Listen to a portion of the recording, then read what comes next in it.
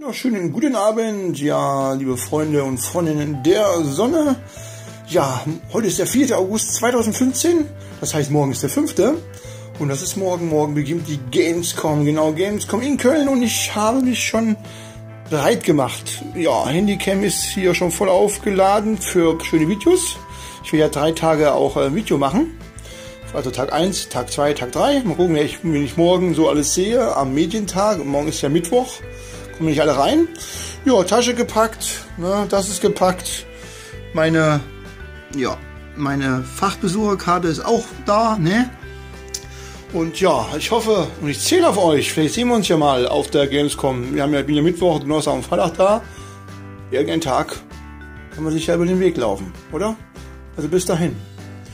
Ich wünsche euch eine gute Anreise zur Gamescom nach Köln.